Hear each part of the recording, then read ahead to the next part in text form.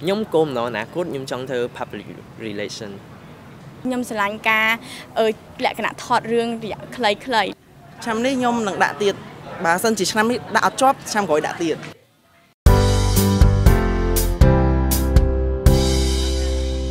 និស្សិតនិងអតីតនិស្សិតនៃ Department ប្រព័ន្ធផ្សព្វផ្សាយនិងសារគមនាគមន៍បានចែករំលែកបទពិសោធន៍សិក្សាថ្នាក់បរិញ្ញាបត្រផ្នែកគ្រប់គ្រងប្រព័ន្ធផ្សព្វផ្សាយរបស់ខ្លួន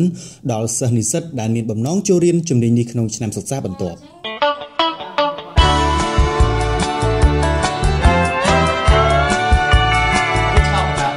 what I'm doing now and what I did at DMC and how DMC helped me to be like who I am today និយាយទៅ4ឆ្នាំនឹងសប្បាយដូចគ្នាឆ្នាំទី3សម្រាប់ខ្ញុំផ្ទាល់ខ្ញុំមានអារម្មណ៍ថាខ្ញុំសប្បាយជាងឆ្នាំទី3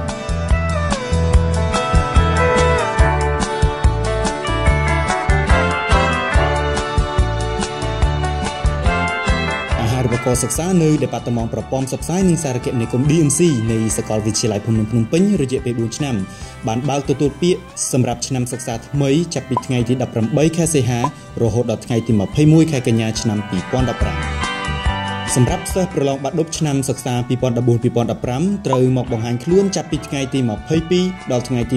28ខែកញ្ញាមុនម៉ោង11ព្រឹកការប្រឡងនឹងប្រព្រឹត្តទៅនៅថ្ងៃទី29ខែកញ្ញាឆ្នាំ2015តទៅ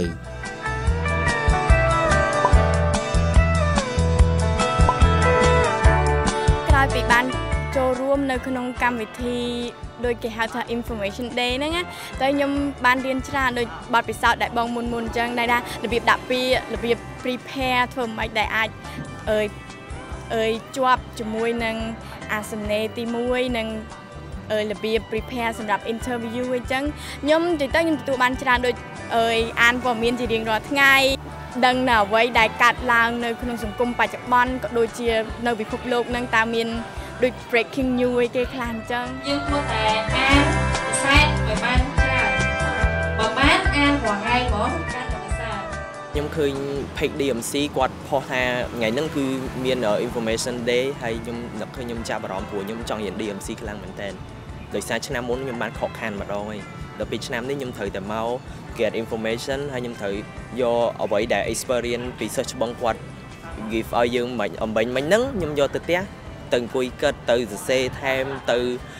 improve យើងឲ្យបានល្អសម្រាប់ធៀមប្រឡងថ្ងៃកាលពីឆ្នាំ2014មិនម៉ាឡេស៊ីឡើយបើសិនជាអ្នកចង់រៀននៅខាងប្រព័ន្ធផ្សព្វផ្សាយឬក៏សារគមនាគមន៍ហ្នឹងអាចមកតំណែងនៅ DMC បានព្រោះបើគិតទៅវាជា brand name មួយដែរព្រោះនៅស្រុកខ្មែរមានតែសាលា DMC មួយដែលផ្ដោតខាងហ្នឹងជាលក្ខណៈ professional សូមជម្រាបផងដែរថាកម្មវិធីចែករំលែកការសិក្សាអាហារូបករណ៍ផ្នែកគ្រប់គ្រងប្រព័ន្ធផ្សព្វផ្សាយនេះនឹងត្រូវបានរៀបចំជាលើកទី2នៅថ្ងៃទី12ខែកញ្ញាឆ្នាំ2015នៅ Department ប្រព័ន្ធផ្សព្វផ្សាយនិងសារគមនាគមន៍វេលាម៉ោង8:30នាទីព្រឹកសម្រាប់ព័ត៌មានបន្ថែមនិងការចុះឈ្មោះចូលរួមកម្មវិធីសូមចូលទៅកាន់